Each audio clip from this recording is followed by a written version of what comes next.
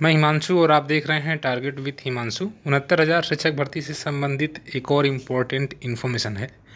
आप सभी जानते हैं कि उत्तर कुंजी मामला डिवीज़न बेंच से फाइनल हो गया था। उसके बाद सुप्रीम कोर्ट में अभ्यर्थियों ने याचिका डाली थी, लेकिन सुप्रीम कोर्ट से राहत नहीं मिली। याचिका खारिज करते हुए वापस डबल बेंच भेजे जाने की सलाह दी गई है और अब याचिकाकर्ता ने फिर से डबल बेंच में आंसर की मुद्दे पर याचिका दाखिल कर दी है और यह लिस्टेड भी हो गया है।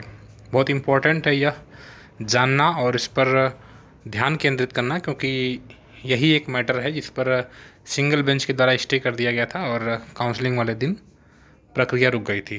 तो वापस अब उसी याचिका को, वही याचिकाकर्ता डबल बेंच में लेकर गए हैं और ये कोर्ट की वेबसाइट पर दिखा भी रहा है। आप इसको देख सकते हैं, ठीक है? कोर्ट नंबर एक में सत्ताईस।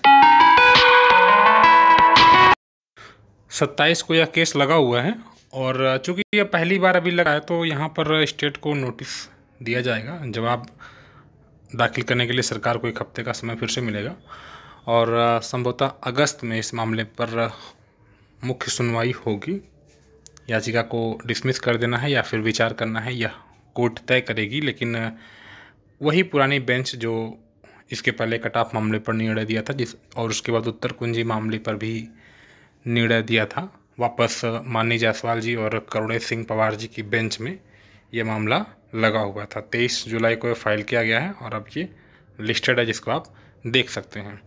तो जो भी अभ्यर्थी हैं वो इस मुद्दे पर भी ध्यान अपना केंद्रित करें, क्योंकि अगर डबल बेंच के आदेश पर स्टे लगेगा तो सिंगल बेंच का आदेश बहाल हो जाएगा। फ़िलहाल, सभी अभ्यर्थियों की सभी अभ्यर्थियों द्वारा यही प्रयास किया जाना चाहिए कि इस याचिका को फिर से खारिज करवा दिया जाए।